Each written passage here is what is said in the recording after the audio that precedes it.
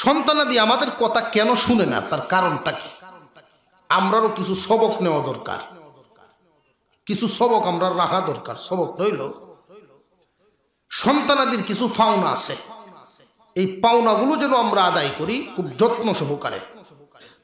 সন্তানের পাওনা যদি মা বাবায় আদায় করে, এই সন্তান বড় হইয়া মা বাবার পাওনা আদায় করে।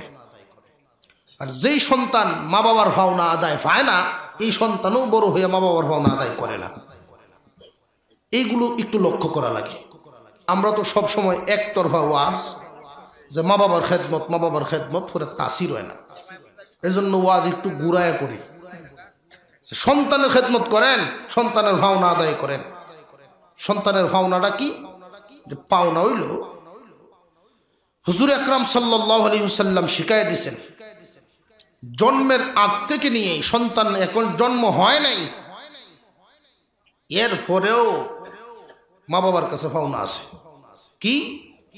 আল্লাহ রসুল বলেন, দুইজনে মিলিয়া সন্তান জন্ম দিবা, তিনজন লইও না। আল্লাহর নবীর সাহাবিরা বলেন, হুজুর, আমরা তো বিছানায় দুইজনেই তাকি তিনজন তো দেখি না।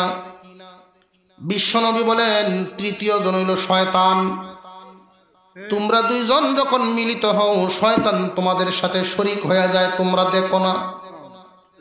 এই জন্য আল্লাহর নবী বিশ্বনবী দোয়া শিখায় দিলেন, আল্লাহুম্মা জান্নিবিনি শাইতানা ওয়া জান্নিবি শাইতানা মা রাযাকতানা এই দোয়া যারা না জানেন অন্তত পক্ষে আউযু বিল্লাহি মিনাশ শাইতানির রাজিম পড়িয়া লওয়া। দোয়া পড়িয়া তারপরে বিছানায় যাবেন, শয়তানের দুকা থেকে বাঁচতে পারবেন, দোয়া পড়লে। শয়তান বিছানায় থাকবে, দূরের কথা গড়েই থাকতে পারবে না। দোয়া পড়ব, উষ্টা হয় না তো? উঠেই নাই, দোয়া পড়ব বলা মনে থাকব নি দোয়া? আর জোরে এখন থাকব নি মনো? ময় মুরব্বীর এই ওয়াজ হন পালা লাগতো না। জিন্দিগি তো গেল গে ওহন, এতদিন আসলাম কই? এটি তো কই ভাই? এর ভরেও এই ওয়াজের দরকার আছে। মুসলমান ইমানদার ভাইরা আমার, দুইজনে মিলিয়া যখন সন্তান জন্ম দিলেন, সন্তান মার গর্বে চলে আসলো। মার গর্বে থাকাকালীন সময়েও কিন্তু শয়তানে সন্তানে মা বাবার কাছে বহুত কিছু পায়। আল্লাহর নবী শিখাইয়া দিলেন, গর্বে ধারণ করে, সন্তান গর্বে ধারণ করে, তুমি কীভাবে চলাফেরা করবা? সন্তান গর্বে ধারণ করে তুমি যদি বেহায়াপনার মতো চলাফেরা করো, এর আসর গিয়া সন্তানের উপরে পড়বে। তুমি যদি ব্যাপারদায় চলো, এই সন্তানের উপরে ব্যাপারদাগির একটা আসর পড়িয়া যাবে। তুমি যদি হারাম খাদ্য খাও, এই সন্তানটা হারাম খাদ্যে গঠিত হবে। খুব সাবধান, সন্তান গর্বে ধারণ করে তুমি যদি পাঁচক্ত নামাজ পড়ো, নামাজের আসর হবে। পর্দায় যদি তাকো পর্দার আসর তার উপর পড়বে। কিন্তু আজকালকার আমাদের অভ্যাস হলো, সন্তান যখন গর্বে আসে বেড রেস্টে থাকতে হবে, রেস্টের তো দরকার। ডাক্তার বলে দিয়েছেন, বেশি লাফালাফি করা যাবে না, রেস্টে থাকতে হবে। স্বামী স্ত্রী দুইজন আলোচনা করে, ডাক্তার যেহেতু বলছেন, রেস্টে থাকতে হবে, সময় কেমনে ভার করা? দাও একটা টেলিভিশন কিনে, কিরণমালা দিককে সময় কাটায় এমনি। জোরে কর কিরণমালা দেখিয়া ডিশ লাইনের দেয় লাইন লাগায়া। সাবধান। এই কাজ কিন্তু করা যাবে না। তোমার উপরে দায়িত্ব আছে, তোমার সন্তানের উপরে যেন এই আসরগুলো না পড়ে। তফসিরের কিতাবের মধ্যে উল্লেখ করে দেওয়া হয়েছে, সন্তান গর্বে ধারণ করে। যদি সুরা ইউসুফ বেশি বেশি করে তিলাওয়াত করেন, কোরআন বেশি বেশি করে মহিলায় তিলাওয়াত করেন, কোরআনের আসর গিয়ে সন্তানের উপরে পড়বে। সুরা ইউসুফ যদি বেশি বেশি তিলাওয়াত করতে পারে আল্লাহ পাক রব্বুল আলমিন এই সন্তানটাকে জেহেনওয়ালা সন্তান বানাবেন। সন্তানটাকে বরকতওয়ালা সন্তান, সুন্দর, সুশ্রী এবং ন্যায় বিচারক হিসাবে তারা বানাবেন। আল্লাহ রব্বুল আলমিন নেককার সন্তান দান করবেন যদি কোরআন তেলাওয়াত বেশি বেশি করা হয়। যেই দিন সন্তান জন্মগ্রহণ করবে আল্লাহ নবী বিশ্ব নবী শিকায় দিলেন, যেই দিন সন্তান গ্রহণ সন্তান জন্মগ্রহণ করবে জন্মগ্রহণের দিন থেকে নিয়ে সাত দিনের ভিতরে চারটা কাজ করতে হবে, কয়টা? আরও জোরে।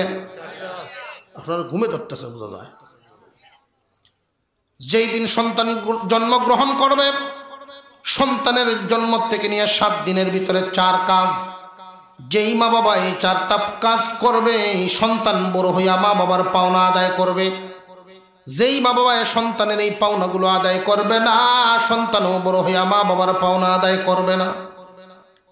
এক নাম্বার, ছেলে হোক আর মেয়ে হোক, বাড়িতে হোক আর হাসপাতালে হোক, যেখানেই জন্মগ্রহণ করুক না কেন, ডান কানে আজান, বাম কানে কামতের শব্দগুলো বলে দেওয়া।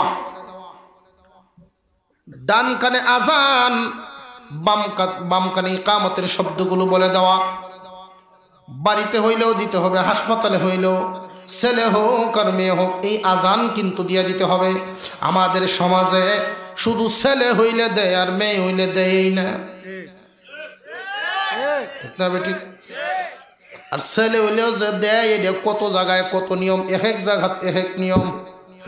ছেলে হইলেও যে আজান দেয় তিন রাস্তার মুরকার হইয়া দেয়। তো অন্যজনে জিগা এটা কি এর আজান, জৌরেরও না, আসরেরও না। কইটা না সেরাগালির হুত ওই সাইড লাগিয়ে দিছে আমি যে ছোটবেলা মাদ্রাসাত করি তো দেখি এক লোক সাতের গরু ছেলে হইছে। অহন বেটা দৌড়তেছে, ছেলের বাপ খুশিতে দৌড় কি দৌড়? দৌড়িয়া গিয়া করছে কি? বড়ই গেছো জাহি দেয় আমি দেখলাম কি বড়ই গেছো জাহি দিল কারণ নাকি? আমি তাকে জিজ্ঞাসা করলাম, চাচা, আপনি এই কাজ কেন করলেন? বড়ই গাছে জাকি, কারণ নাকি? কারণ বাবা, আমি জানি না, মুরব্বীর কথা। কোন মুরব্বী? সাথে আর একজন আছেন আব্দুল আব্দুল জব্বার দাদা। এই মুরব্বীর কথা কইছে। আমি কে তারে যে গেলাম দাদা, এই বড় গাছ জাহিদা আইলেন এটি কোন নিয়ম? আমরাও মুরব্বীর কাছ থেকে শূন্য আইছি। তবে এটার হজিল তৈল ছেলের বাপ জাহিদিয়া যে কয়টা বড়ই ফলতে পারব, আরও ওই ভূতের বাপ হইব। আচ্ছা দেখেন, এই যদি ওই অবস্থা, আমি ছোট মানুষ, আমি জিগাইলাম যে, দাদা, এখন জাহিদিয়া যদি বড়ই একশো ফালায়, একশো যদি ফালায় যদি একশো ফুট হয়, তো এই বেটার গতি কি হইব? এই বেড়ার যেমন তেমন বেডির কি হালত? যে দাদা কইলো যে জিন্দিগিতে তো এই চিন্তাটা করছি না রে। আজান কেন দেওয়া লাগে? কারণটা কি? সন্তান জন্ম নেওয়ার সাথে সাথে আজান দেওয়ার কারণ হলো, আল্লাহর নবী বলেন, বাচ্চা জন্ম নেওয়ার সাথে সাথে শয়তানে চায় তার দোলে নেওয়ার জন্য। বাচ্চা জন্ম হয়েই কান্দেনি না কান্দে না? শয়তানের আক্রমণ বাচ্চায় সহ্য করতে পারে না। এই জন্য সন্তান জন্ম নিলে শুধু ছেলে হোক আর মেয়ে হোক। শুধু ছেলে হইলে না মেয়ে হইলেও? মেয়েরা বেলা তো আজান দেই না। খুব সাবধান। এই নিয়মগুলো খুব পালন করবেন। মাত্র জন্ম নিল। শয়তানে চায় তার দলে নেওয়ার জন্য।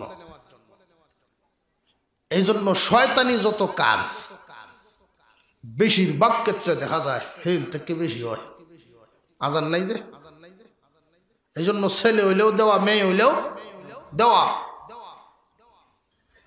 ছেলে হইলে আজান দেয়, খুশিতে, মেয়ে হইলে দেয় না। কিতা দিব তো? মনই বলে না। মেয়ে হইলে মন খারাপ হয়ে যায় অনেকেরই। অথচ আল্লাহ রসুল বলেন, তিন মেয়ের বাবার জন্য জান্নাত। আর জুড়ে কোন সাহাবিরা প্রশ্ন করেন, হুজুর, যদি দুইটা হয় আল্লাহর নবী বলেন, দুই মেয়ের বাবাকেও জান্নাত দেওয়া হবে। মেয়ে যদি একটা হয়, বিশ্ব নবী বলেন, অসুবিধা নাই। লালন পালন করে যদি দিনদার ছেলের হাতে উঠাইয়া দিতে পারে, মেয়ে লালন পালন করার পিছনে তো নিজের কোনো স্বার্থ নাই। এই মেয়েকে যে আমি লালন পালন করলাম, ও তো আর আমার বাড়িতে বিটায় আমার বিটায় বাতি জ্বালাবে না। বিয়ে দিয়ে দিব অন্য জায়গায়, যা করলাম সব ফিসাবিল্লা আল্লাহর রস্তে। এই জন্য সবের নিয়ত করবেন, মেয়েটাকে এত আদর করবেন, বিশ্বনবী বলেন, চকলেট দুই ডাঞ্চ বাজার থেকে ছেলে আছে, মেয়ে আছে, আগে কারে দিবা, যে আগে মেয়েটারে দাও। মেয়েকে এত প্রাধান্য দিয়েছেন বিশ্বনবী রহমাতুল্লিল আলমিন। মেয়েটাকে আদর বেশি করো, মেয়ে হইছে, খুশি বেশি হও। আর এখন আমরা অভ্যাস হইল, উল্টা। ছেলে হইলে খুশি হয়, মেয়ে হইলে রাউই করে না। উল্টা তারে আরও জিগানি লাগে। কি খবর? শুনছিলাম বাচ্চা হইব। হ্যাঁ ওইছে